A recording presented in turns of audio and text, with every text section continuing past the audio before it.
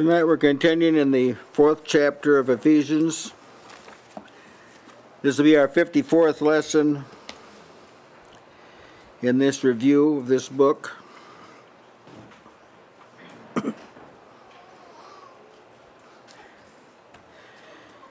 As you must know, if you don't know, you should know, that salvation is not a once for all time experience even though it does have a dis distinct beginning. Salvation is a process. It commences with the conviction of sin, righteousness, and judgment to come, and is brought to culmination when we are in in our in immortal bodies stand with the Lord forever. So that so it's quite a long process. It began by experientially by us fleeing to Christ for refuge. And it, it continues to the time when grace will be brought to us at the revelation of Jesus Christ. Amen. And there is a salvation that's ready to be revealed. So this is important to remember this is a process. A lot of people don't know this. They've not been taught this. They're not students of Scripture, so they go they can't stumble across it because they're not Bible students. I wanted to take a moment to comment about that. I have not in my lifetime, and I've spent a lot of time with devoted people. These have always these have always been my friends of preference, my close friends. But I've not known a lot of people that are serious students of Scripture. Their minds are too divided. They got too many other things going on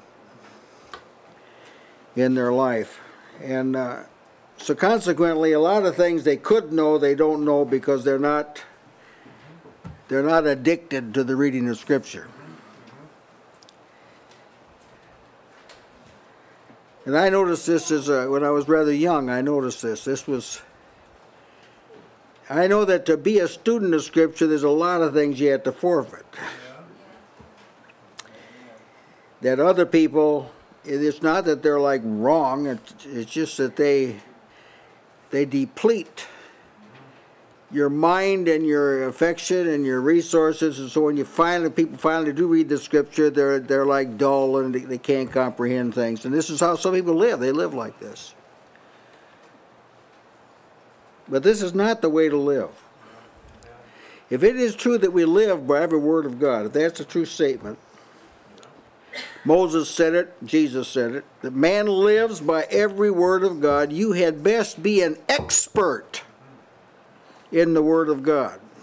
Maybe you don't know what a lot of things mean, but you should not be ignorant of anything they say. Now, having said that, let me return to this matter of salvation being a process. it's depicted in the creation, this idea of a process is depicted in the creation. In the beginning, God created the heavens and the earth. So I gather that was like an instant, these realms were instantly called into being. But now it took six days to populate them. Hmm? And to make proper divisions. Took six days to do it. I was telling you that the new creation, being born again and so forth, is not the end of the matter. Like the heavens had to be populated with billions of heavenly bodies and stars. See, that followed the creation of the heaven and the earth so far as that, those realms being made. The earth was filled with all forms of life, from vegetation to fowls of the air, to fish of the sea, to beasts of the earth, and finally to humanity itself. So newness of life has to be populated. Amen. There has to be something more than just a a reality of life. it has to be more than that. And this is the thing that Paul is bringing out in the text. You're not done with involvement when you call on the name of the Lord. This isn't the end of the matter. This extends over an appointed period of time, the work of salvation, whether you're speaking about the individual or the entirety of it. From the individual point of view, God is perfecting the people so they can, in fact, be with Him forever without any kind of variance between God and man. Because nobody who's at variance with God is going to heaven. Right? Just settle that once and for all in your mind. If there's ever been any doubt about that in your mind, nobody who is at variance with God is going to heaven. It's just that simple. See, that's what salvation is all about, is removing that variance with God. So people who find themselves frequently disagreeing with God or confused about Scripture or things like this, that thing's got to be resolved. That's got to be worked out. And that's what salvation is, and Paul's telling us how to how to do this in, in this text not a list of rules how to do it, but things that have to be done. They're like broad things that have to be done. like you say to Timothy, keep clean. Well, see, that's not that's not something you just do in a moment of time. It's just something that takes expands a period of time. So we're talking about that sort of thing, and our text is verses 22 and 23 of the fourth chapter. Now remember what the preceding verses told us. We've been taught the truth as it is by Jesus, and here's what Jesus teaches people. Here's what Jesus teaches people. And whoever doesn't do this hasn't been taught by Jesus. And whoever hasn't been taught by Jesus is as lost as a person can be. Taught by him as the truth is in Jesus that ye put off concerning the former conversation the old man, which is corrupt according to deceitful lusts, and be renewed in the spirit of your mind. That, that's not like a, just a commandment. That's what Jesus teaches. You, have you see that, I'm sure. just look at these words. That, that ye. Yeah, that personalized. He doesn't say like this is something that has got to happen. See, that's not that ye. See, this isn't something everybody ought to do. That ye. See, it's personal. Some other versions read, "You were taught." I want to show you how some of the versions represent this, which I think is not right. That you were taught. NIV says that. Then says, then, that is, in view of what Jesus is doing, here's, here's what you should do. Or namely, that is precisely what Jesus teaches.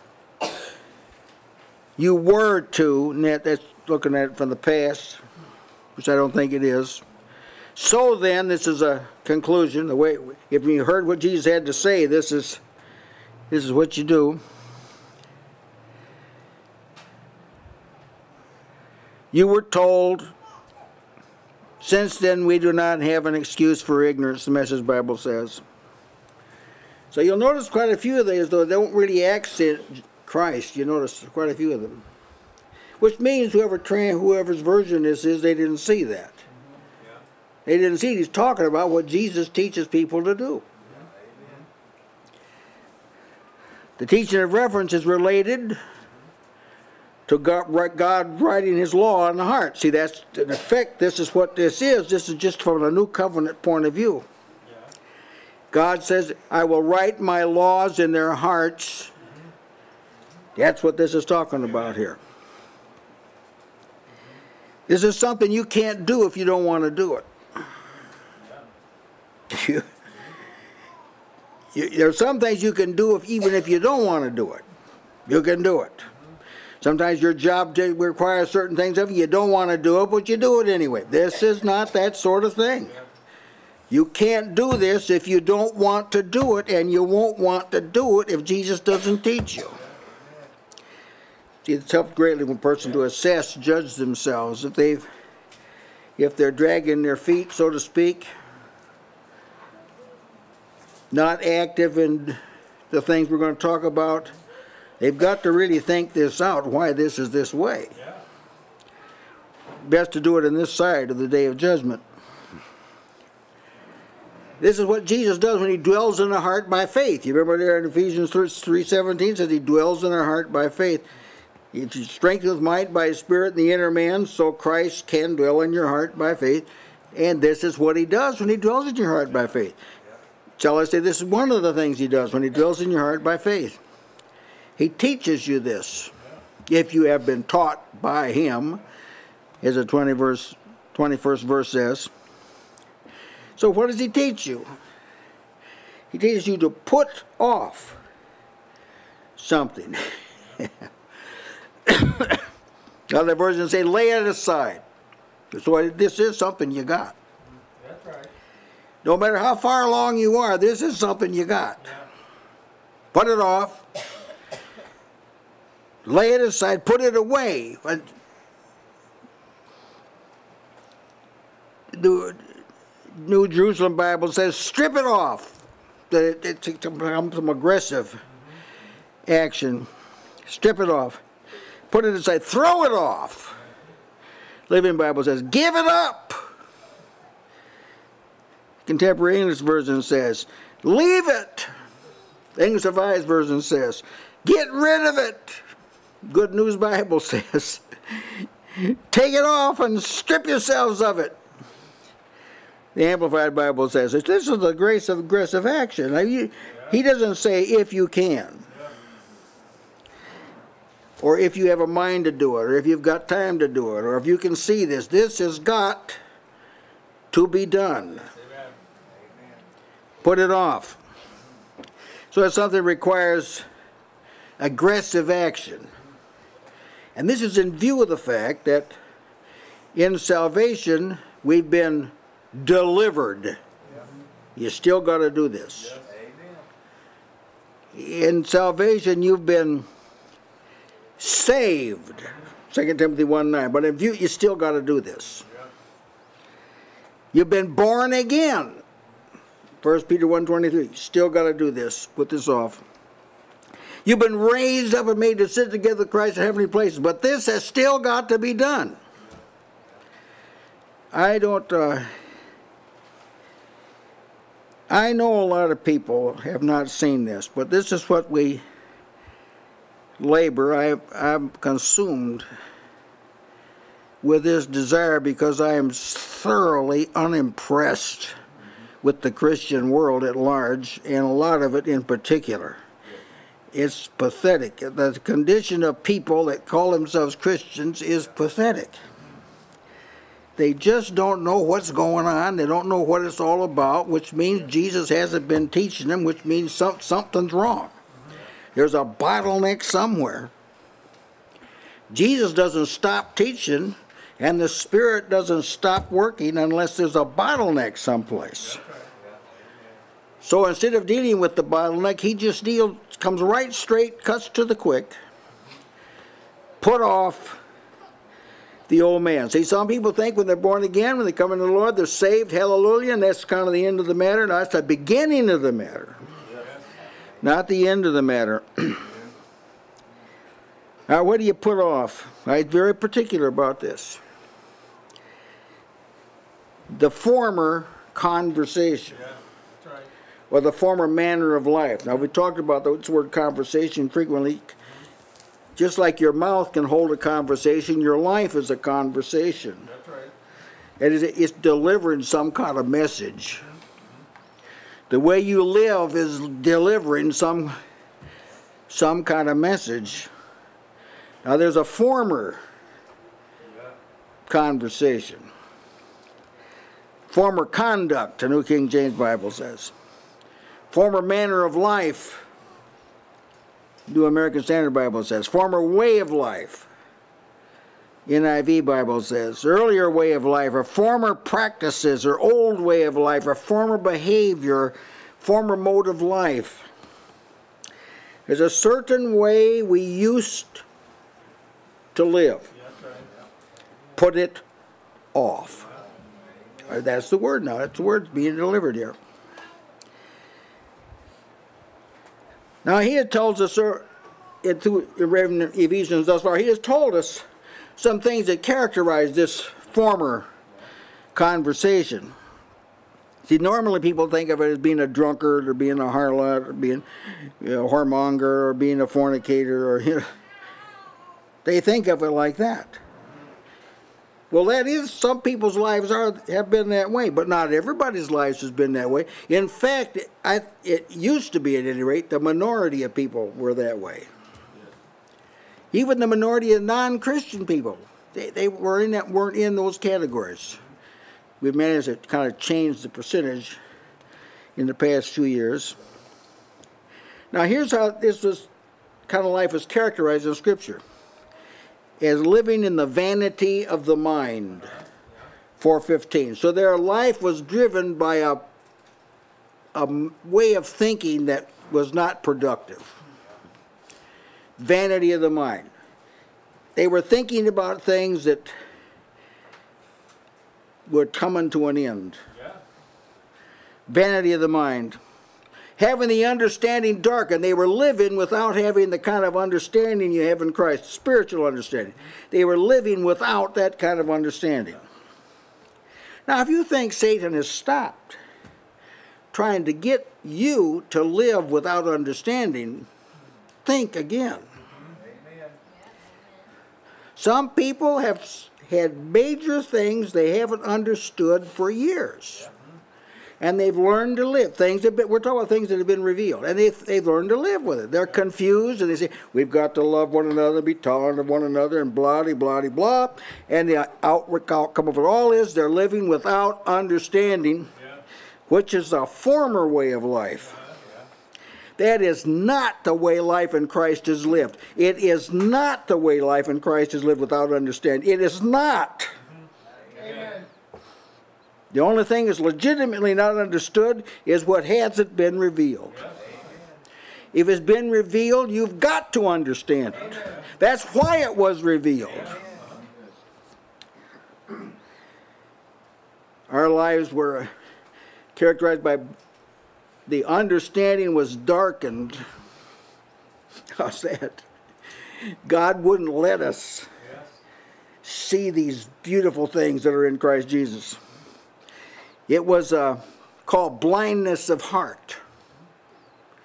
So in the affection part, the thing that really drives you to do what you do, the, the central nervous system of the spiritual person, it was blinded. Couldn't see. That's a former life. And we were alienated from the life of God.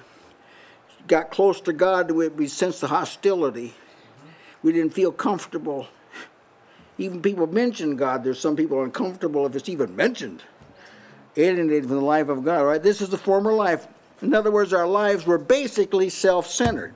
That's why all of these, we were hostile to the truths of God, is because we were basically living for ourselves. That was it. And some people might be considerate of other people a little bit, but basically for themselves, self self-centered lives. Now we got to put that off.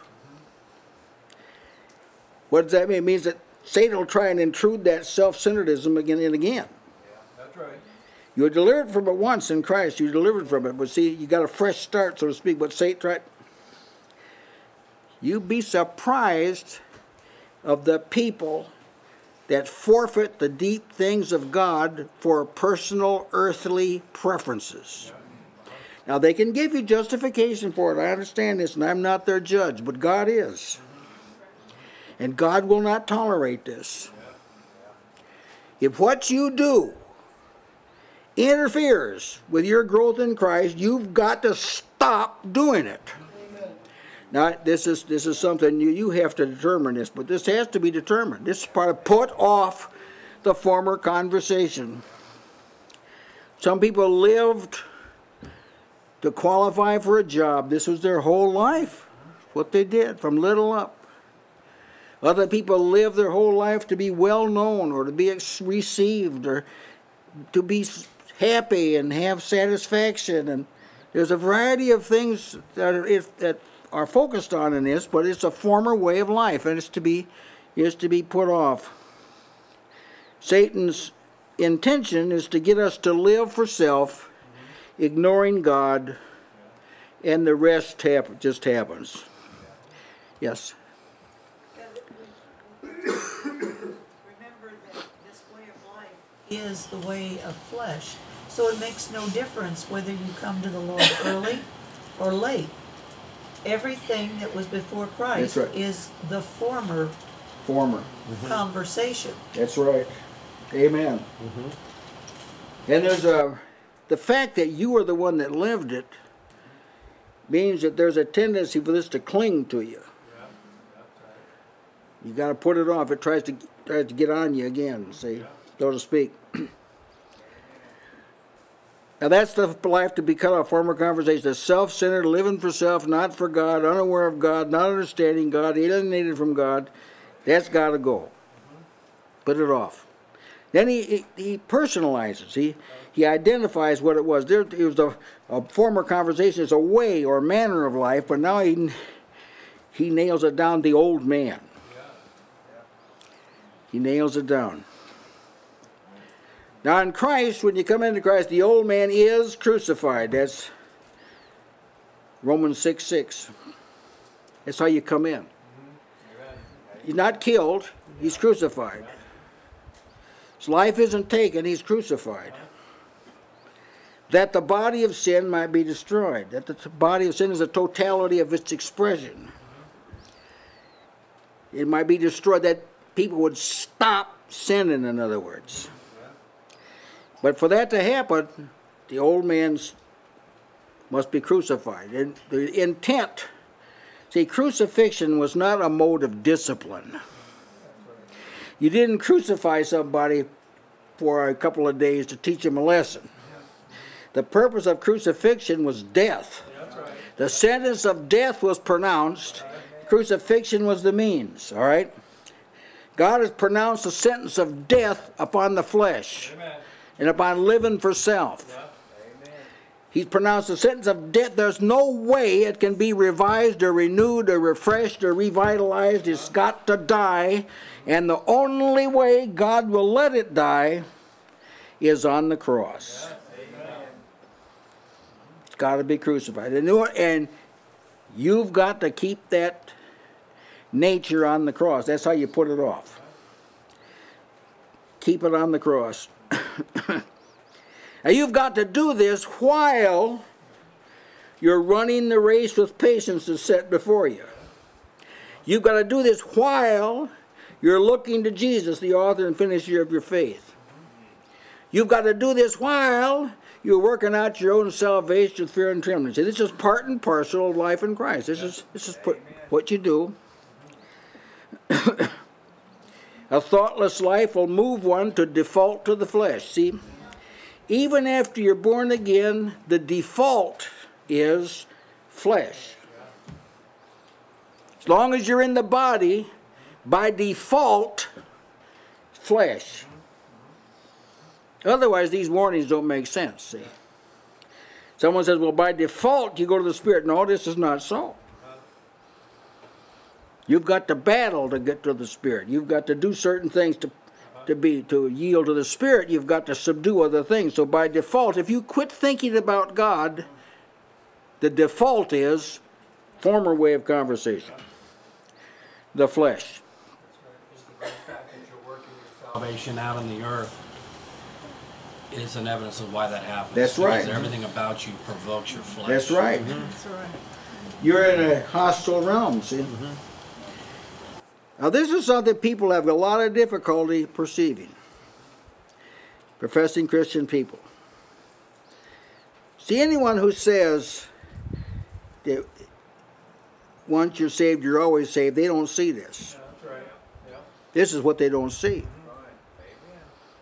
Well, they can cite scriptures and tie them together and all this, but after all said and done, they don't see this. Uh-huh. And here's the catch there's no excuse for not seeing this because Jesus teaches this. Amen. That's right. Now, I'm going to wax bold here, and I think I'm fully capable of supporting what I'm about to say. A person who insists on embracing that kind of teaching has not effectively been taught by Christ. And if they've not effectively been taught by, taught by Christ, to put it very mildly, they're not what they think they are. They're deficient, seriously deficient. And that is something that has to be said. If, if that doctrine was true, why would you say, put off the old man? Right. Why not say, don't worry about the old man? Yeah. That's right. Put him off. Something must be done. Those who yield to these fleshly impulses, no matter how minuscule they may seem or insignificant they may appear, because the old man sends out impulses or thoughts or intentions.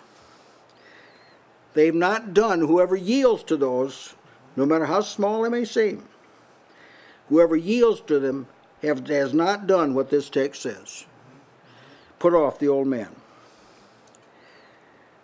Now, this kind of life where you where something started out pure and clean and yet you had to you had to deal with it anyway. You shouldn't confuse this because this is taught several places in Scripture. For instance, Hebrews two fourteen tells us that the whole that the devil has been destroyed. Jesus has destroyed the devil, but you still got to resist him. Huh? Yeah. There it is. Flesh has been circumcised. That's what the scripture says. He circumcised the flesh. He cut it. And yet you've got to abstain from fleshly lusts. See? the old man is crucified, as Romans 6 says, 6, 6 says, but yet you have to put him off. Yes. This is all while you remain in the body. This is while you remain in the body experience. This, after you leave the body, this you don't have trouble with this at all.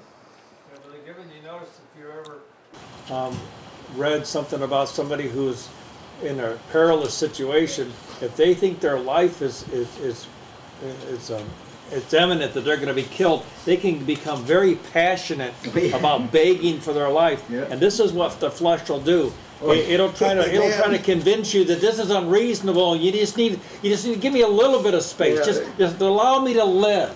There's nothing in the Bible against this. Yeah. Yeah. Now this has to do put off the old man and I'll develop this as fully as I'm capable. This has to do with conduct, with expression. This is not like an internal. That's not what he's talking about here. He's talking about expression, where the where the old man expresses himself, which he'll always do when he's not on the cross. now, as long as we're in these vile bodies, we've got to contend with this. Only as long, but as long as you're in these bodies, no matter how long you've been in Christ, you got to contend with this. Put off. Bring into subjection the body. Bring it into subjection. Hmm? Now you got to work this out yourself. I've got my own battle. Sometimes my body says, I don't want to get up at 5 o'clock this morning. And I know there's things I have to do that require that I get up at 5 in the morning.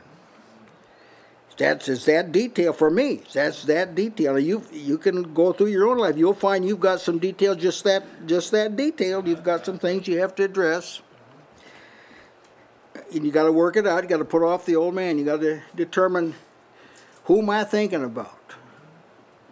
So I got my health to think about. Oh, I was told this so many times. You're burning the candle at both ends. I couldn't.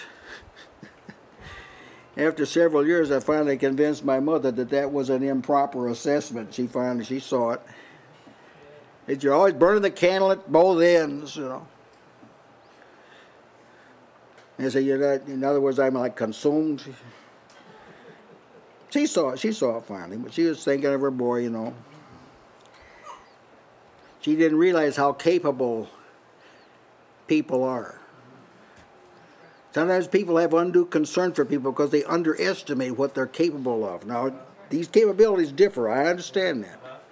But you want to learn to operate at the optimum level, whatever that is. For some people, that's different than other people. But uh, you, each person has to deal with this. So as long as we're in the body, we've got to keep it under control, keep under, bring it into subjection. See, our initial obedience in Christ found us subjecting the body.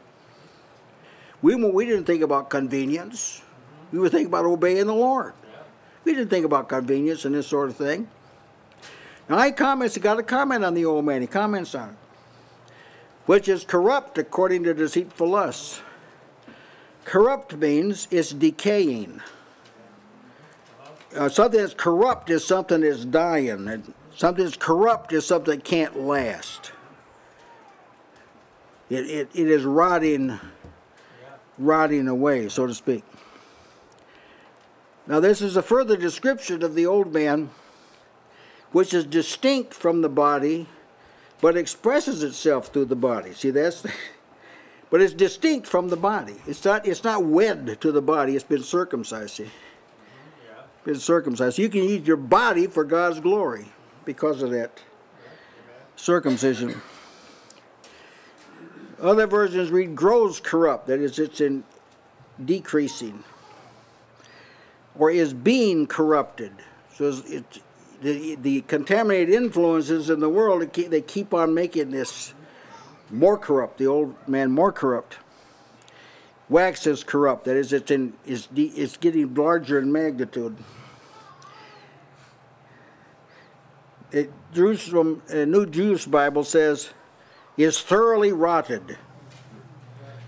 Well, see, that technically is not right. It's, it's thoroughly rotting, is what it is. Not rotted, it's rotting. It's corruptible. Otherwise, he says it's just corrupt, but he says it's corruptible.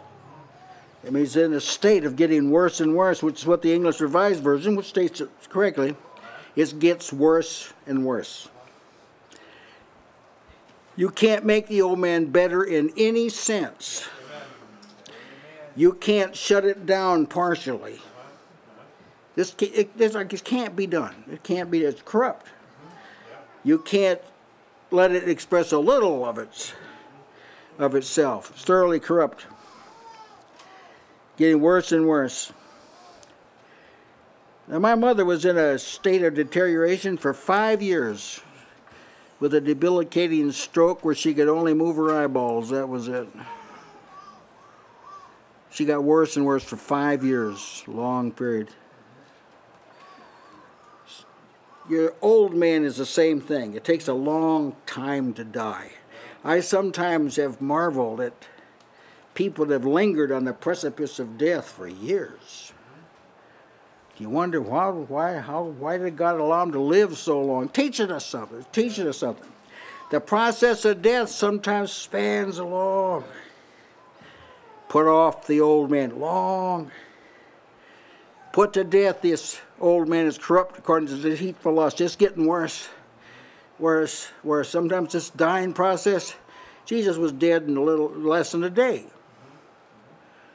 He died quickly. But the reason he did is he, he gave up his life. Nobody nobody took his life from him, he gave it up. So when he realized the work was finished, he just yielded up his spirit to God. That was the end of it. But see, the, the death of the old man is not uh, not that easy. Takes a lot of putting off.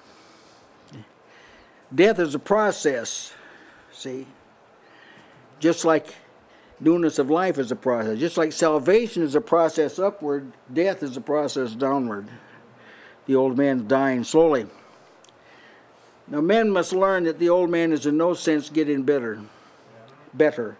You can't, like, educate him, make him tolerable by educating him a little bit. Or maybe you get him to sing a few things that are religious. Get a little better. If he just go to maybe go to a certain kind of religious service, maybe just get get a little better. But no, the old man is intrusive and defiling. He will not back off. The old man will not back off. About the time you think you're really strong and you really know a lot, the old man will flare up and you'll find out. You'll you'll find out that you're not as strong as you thought you were. You sometimes will do some of the dumbest things and say things you couldn't imagine you'd say. What happened? The old man, see? He got off the cross and he went to work right away. If you underestimate the part of you that does not require Christ, there's a part of your life that does not require Christ. If you underestimate the potency of that part of you, you have made a strategic blunder. That goes from appetite for food to the lowest, basest desire. It has tremendous strength, more than you dare to imagine. Listen, people that have toppled off the deep end didn't do it overnight. The old man gradually asserted himself, and finally he got to the point the person was helpless. What's the answer to this? Put off the old man, which is, which is corrupt. Everything about you that's natural is corrupt. Everything came from Adam is corrupt. It's in a state of deterioration. Is declining, but not in strength. Sometimes an animal is shot and he's going to die, but he's at strongest when he's dying. Sometimes they'll, they'll become like super strength come to these animals that are dying and they'll do things you couldn't imagine they could do. That's the old man. If you let him loose, it's staggering what he's capable of doing. Put him off. He's corrupt according to, that means in accordance with, there's a certain kind of condition that exists that causes this to happen. It's intended to identify what is causing this steady deterioration. What's the cause of it? He identifies it as deceitful lusts. lusts or desires, wants, deceitful lusts, desires that are delusionary. They really can't deliver what they. If I can just have one more shot of heroin, then I'll be I'll be better.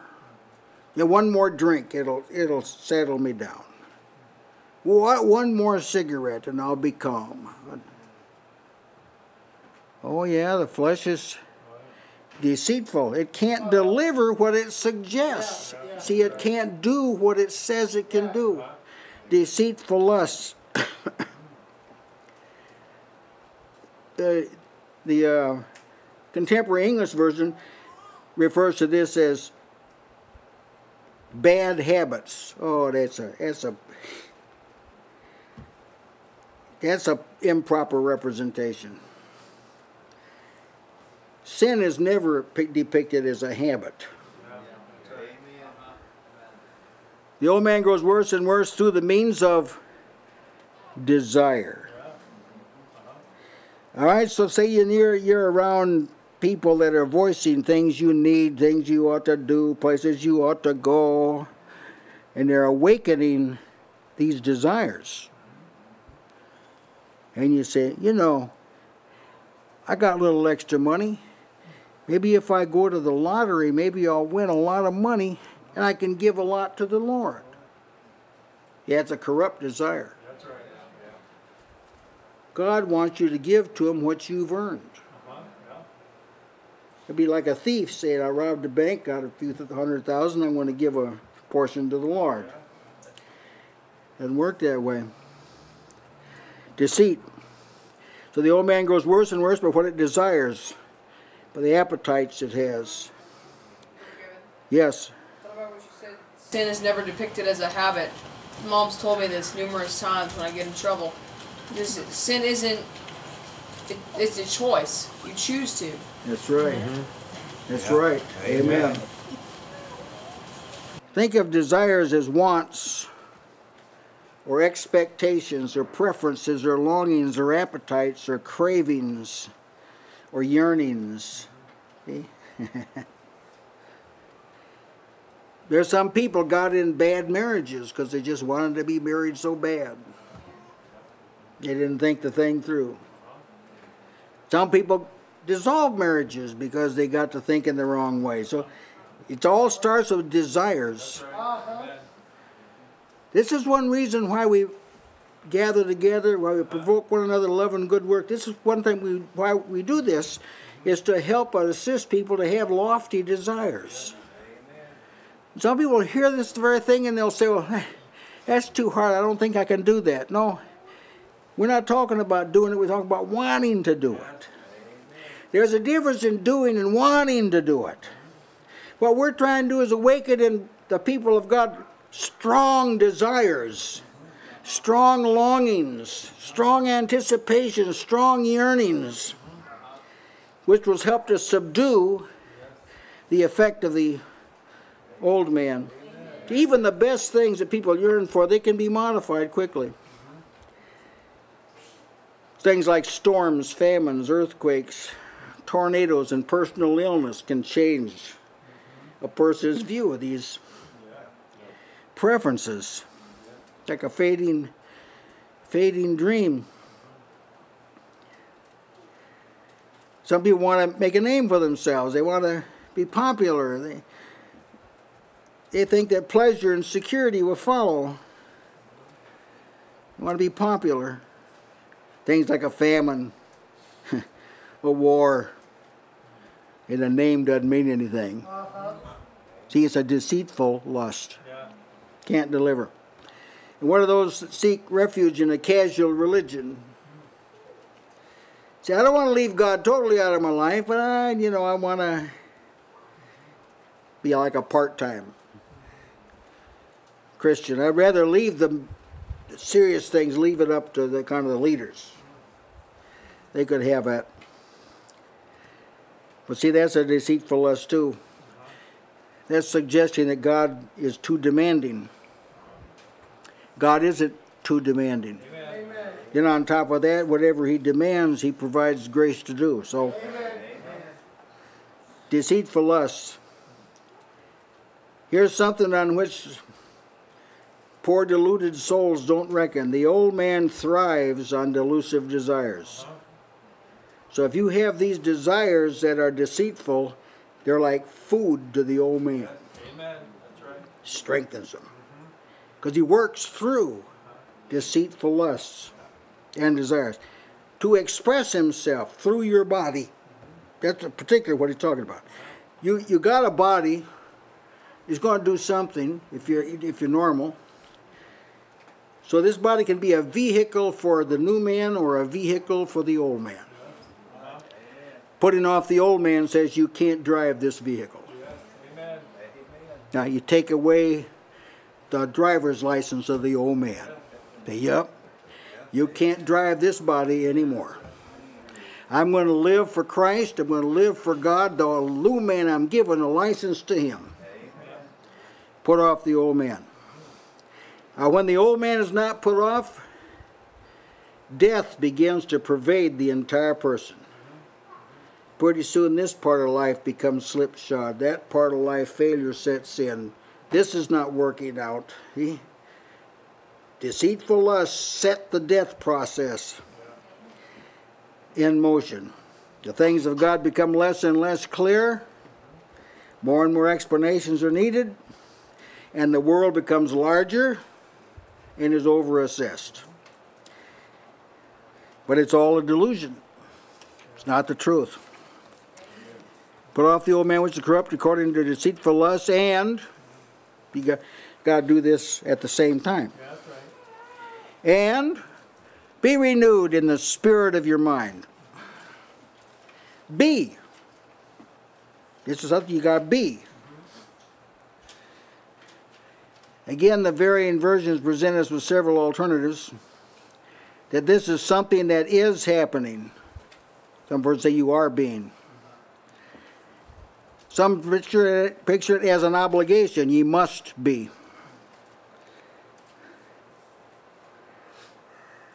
Some depict it as something ought to be. Ye ought, this is what ought to be, should be. And some that this is what was originally intended, was to be. See, so all of these kind of neuter the verse. They all get a person to look at it philosophically instead of addressing himself to the situation. Be, not get, be. Renewed. Whereas some versions say made new. Now, as used here, let me give a technical definition of renewed. It doesn't mean like refurbished, uh-huh. restored. It doesn't mean that. The technical meaning of it is to be made new or different, to become new or different with the implication of becoming better. So the the new man is a different kind of man. Amen. He's not just you don't just get a new set of clothes for the old man. That's right. Dress him up really nice. And renewal is the manner of the kingdom. Renewal. I mean, it starts out with newness of life. the inward man is renewed, the scripture says, day by day. So that's renewal. Renewed. Be renewed. That means every day new. You're, you're on an upward trend. Renewed. Salvation consists of the washing of regeneration and the renewing of the Holy Spirit. So there it is, and that's part of salvation. Washing of regeneration, that happened in a point in time. Renewing of the Holy Spirit, ongoing. When we're going to be renewed? Now here's an intriguing expression. In the spirit of your mind. The spirit. Isn't that kind of a intriguing expression? The spirit of your mind. The word spirit is the same word used by James. In James 2:26, the body without the spirit is dead. So the body has a spirit that animates it. Yeah, right. And the mind has a spirit, smallest spirit that animates it. Yes. Be renewed in the thing that makes your mind work. Be renewed in the thing that drives what kind of thoughts you have. Be renewed in the spirit of your mind. Elsewhere, Paul refers to this as the law of my mind. All right, that's the same. That's the same kind of thing he's talking about there. So, what drives your th- what compels you to think the way you do? That's what you you examine this yourself. I've, this has you find this has to be done regularly. Amen. Why am I thinking the way I'm thinking? And what am I going to think about today? It's one thing to say, I'm going to think about heaven today. Well, that's a- quite another thing to do it. Uh-huh. See, it's good to have an intention. I'm going to think about the Lord, but you have to have the right spirit of the mind. You got to have this spirit.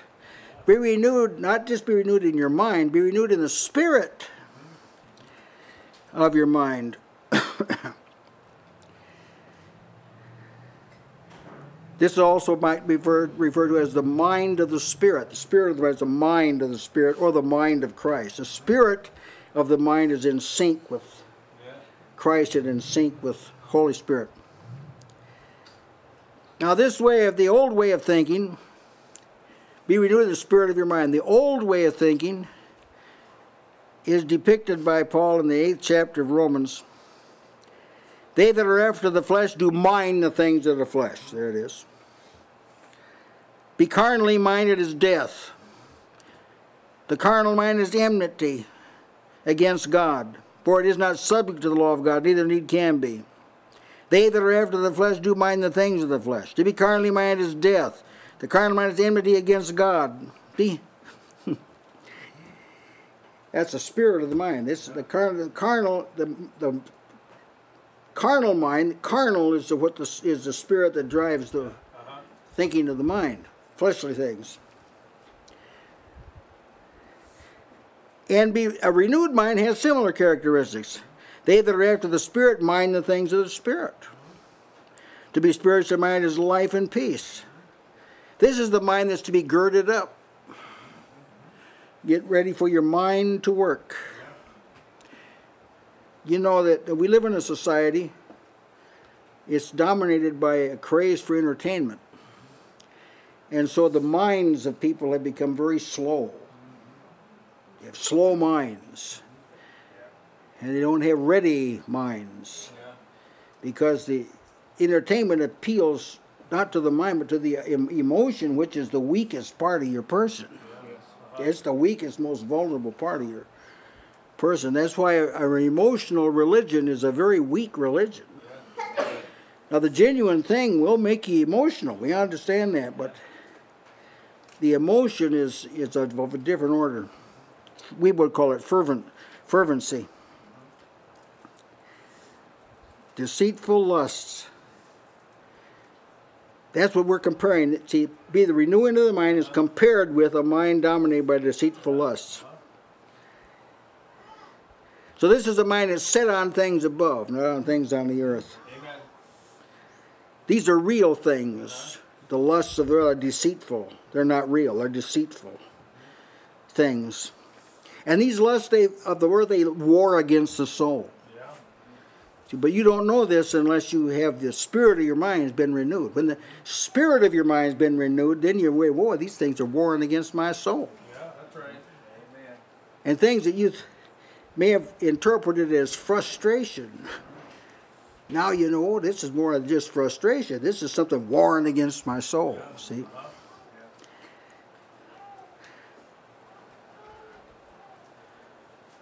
Paul says he had such determination, Paul, he was renewed in the spirit of his mind, that when he was threatened with death, here's what he said None of these things move me. Neither count I my life dear unto myself, so that I might finish my course with joy in the ministry which I have received of the Lord Jesus to testify the gospel of the grace of God. He had a new spirit of mind. See, the truth of the matter is, we may die tonight. Yeah, right. Uh-huh. Now you ask yourself, am I ready? It'd help you get renewed in the spirit of your mind. Because that's why Paul said, I don't count my own life dear to me. I'm not going to plan my life around safety. Even though he took precautionary measures because he knew his work wasn't finished yet. But they were godly precautionary measures, not ungodly ones. The renewed mind has a tendency and propensity referred to as the law of my mind. It's the opposite of gravity. It's a pull upward instead of a gravity downward. The flesh has gravity, but the spirit has this the opposite. It pulls toward heaven. Renewed mind is a tendency or propensity. With my mind, I myself serve the law of God. See? That's a renewed mind. This renewed mind it separates me from the course of the world. It, it, but it has to be done regularly because the you, old man's living in your house. That's right. The, the old man's living in your house. Right. If you say, well, you got to just stay in the back room, eh? No, no, that, that won't do. That's right. He'll shout, he'll shout you down from the back room. He'll do it. You got to keep him on the cross. You got to crucify, mortify it. Or, in the words of our text, put off the old man. It's, it's talk about the same thing, but the put off has to do with the expressions that are produced through your body. Stop doing it. That's what this text is talking about. You can't stop the old man from desiring. You, you, you can't stop fiery darts from being hurled at you. You can quench them, but you can't stop them from being hurled. Amen. See? When you know that, you put off the old man, you refuse to let him express himself. That's the point that he's making. You can't discard the old man. Yeah, that's right. Be nice if you could. Uh-huh. Just throw him away. But he's talking about conduct. You can see that, can't you? Yeah. He's talking about expression. He's not, and expre- and refusing to have expression given to the old man is found in thinking properly. Yes, Sister Barbara. For a long time, I did not connect this, what you're speaking about, with 2 Corinthians 10, speaking about the weapons of our Yeah. warfare Yeah. that are mighty. That's what this is referring That's to. right. The weapons we've been given by the Lord are to throw down these thoughts and That's these right. Mm-hmm. desires that are connected to the old man. Because it says, taking into captivity every thought to the That's right. obedience Yeah. of Christ. Amen. So these thoughts arise, we take take hold of them, we, we test them. That's what right. spirit is this from? What is it connected to? That's When right, it's amen. not obedient to Christ, we have the power to cast it down. Amen. If it's not cast down, it'll uh-huh. out. That's right. It'll come out your mouth or come through some other way. We've talked about this before now. If uh, the old man manages to tear loose and get down off the cross, uh, didn't we discuss this? Uh, we had to be delivered again from that. Oh yeah, Uh-huh. Yeah. you Uh, he can't. can shout down from the cross all he wants to. That's right. But now, if he gets loose, That's right. because God was the one that crucified him, Yeah. put him on the cross to begin with. You have to confess your sin. He's That's faithful right. and just to forgive us our sin, and, and, and, and then you're restored. But God has to do that. Yes. You're talking about conduct, which is the outward evidence of what exists inwardly, That's right. what, what really controls you. Mm-hmm. But it talks about that the, the mind of the flesh being enmity. Yeah. Now, what is that enmity? It's the mind of the flesh, no matter what it says, denies God. Yeah. It denies Him. God is Yeah. who you serve. You can say what you want, but who you serve is your God. That's right. Amen. And so this, the the old nature is living, robbing God of His glory and denying Him as God, mm-hmm. because it serves itself. Yes. Itself is its own God. So that's where the the expression is. It, it has a, a multitude of, of ways that it expresses mm-hmm. itself, but the seed of it is always that it will not bow the knee. Right. It will mm-hmm. not. That's right. God is not God to the flesh. Amen. There's coming Yeah. a day when God will, it'll, it will, because mm-hmm. God is. But, but as long as the flesh has the ability to express itself, as long as it can exert its own will or way, it, it, it will not have God on the throne. It will not. Amen. Amen. now some of the some some uh, historical Christians have seen this, and they have chosen what they call a simple life, like the Quaker people and the Amish people and so forth. And while this can't be imposed on anyone, I think I can see their the reasoning that they have because the more involvements you have, the more liabilities you have. Now, you, you're the one that has to draw the line. I mean, if you're going to do an extensive work for God, you probably be required to have a variety of social involvements. I mean, this this probably happens, but you have to you have to manage these involvements. You can't let them manage you. So the more divided your life is, if you're doing a whole bunch of things, you've got a whole bunch of liabilities.